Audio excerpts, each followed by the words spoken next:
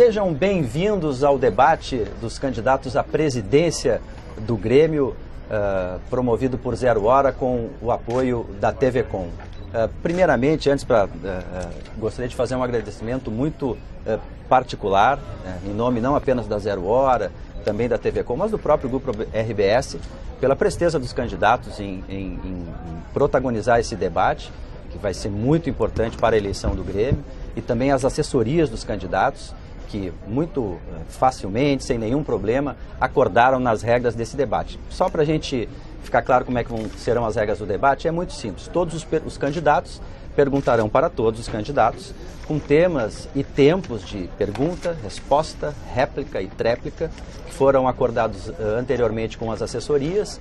Uh, escolhemos temas, né? E aí, ao final, eu vou fazer uma pergunta para cada um dos candidatos aqui. O formato é bem simples, é para incendiar o debate mesmo de ideias, é o que, que é o que todos os candidatos fartamente uh, já disseram durante a campanha. Então, o primeiro tema, que dispensa apresentações, eu suponho, é o tema Arena. Agora, o candidato Fábio Koff, por gentileza, tem, faz a pergunta, 30 segundos para o candidato Homero Bellini Júnior, por favor.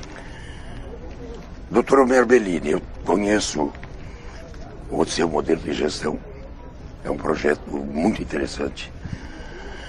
E lhe pergunto como o senhor pretende conciliar o processo de profissionalização do clube com a área política do clube. Uh, primeiro, agradeço, Diogo, ao convite do Grupo RBS. É um prazer estar aqui com vocês.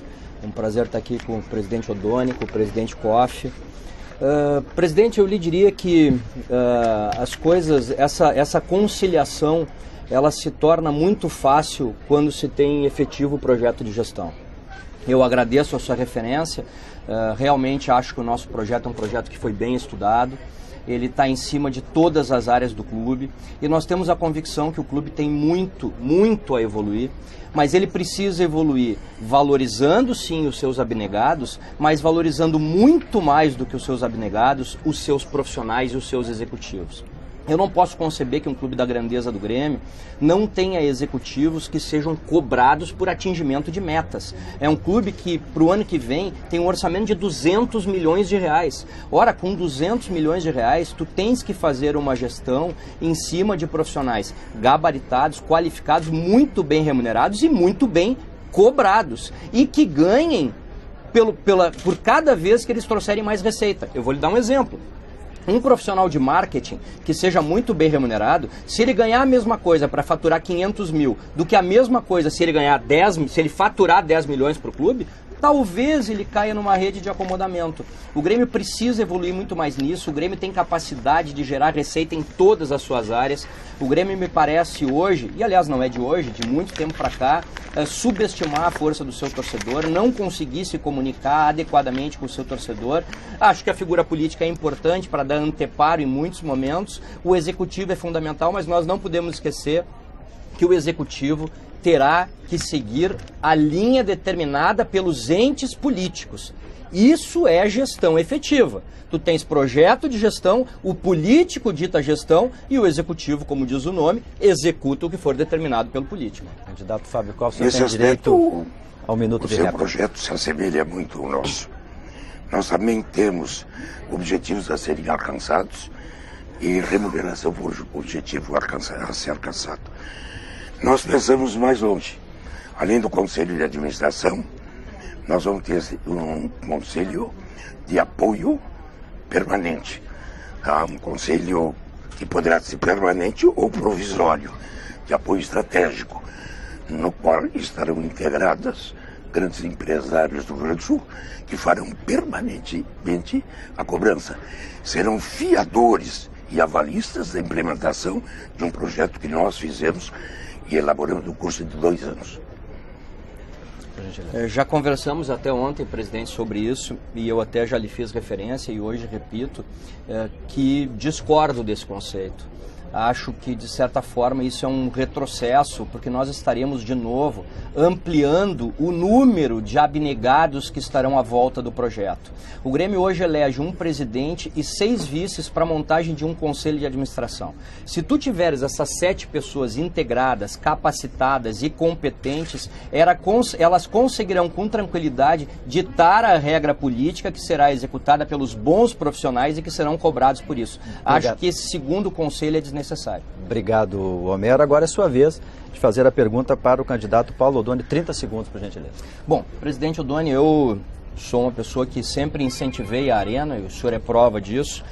Assim como também já fui seu crítico em várias ocasiões, e o senhor também sabe disso, porque faço as minhas críticas frente a frente. Só que a Arena sozinha não vai resolver os nossos problemas. Ela é um grande avanço, mas ela sozinha não nos resolve. O Grêmio, como eu disse, na nossa concepção, ele não conseguiu alavancar suas receitas durante muito tempo.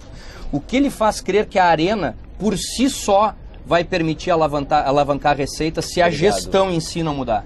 Obrigado, Olha, presidente. Quando nós assumimos o Grêmio, que foram pedir para nós assumir, inclusive com o apoio do presidente Koff, que ele relatou, nós encontramos não um clube, uma massa falida. O Grêmio estava em regime de falência sem poder usar esses benefícios devia uh, para todo mundo, tinha as penhoras de todos os seus dinheiros de banco, todas as suas receitas e ainda os oficiais de justiça no plantão nos jogos. Sete jogadores. E, e tinha nenhuma capacidade para poder sair daquela situação que tinha um quadro social de 2.500 contribuintes. Isto era o Grêmio. Nós tivemos que estancar essa sangria e fomos pensar, conseguimos fazer isso, conseguimos fazer um catado de jogadores para sair da segunda divisão, senão o Grêmio estaria sepultado definitivamente. Estamos no futuro. Qual era? Quando concebemos a arena, não é para ela ser linda, bonita, mais moderna que nós temos aqui e vamos ter entre todas as arenas do Brasil. Então, provavelmente da América Latina, a mais moderna, a mais avançada, a mais segura. E olha que eu conheci várias. Pois bem, ela foi feita para que o Grêmio possa fazer um upgrade, está entre os grandes clubes do mundo o Grêmio precisa ambicionar mais do que apenas ter hegemonia estadual. Se conseguiu isso quando inaugurou, fechou o Olímpico, quando inaugurou o Olímpico 54, 13 anos, depois quando fechou o Olímpico, se o Inter fez isso quando tinha o Beira Rio, esse efeito é pouco. O grande efeito da Arena é primeiro reverter uma situação é, que é perversa. Nós hoje tiramos dinheiro do futebol e do associado para colocar o dinheiro na manutenção do Olímpico, que não é pouca, com seus 60 anos, o nosso querido Olímpico precisa de cuidados.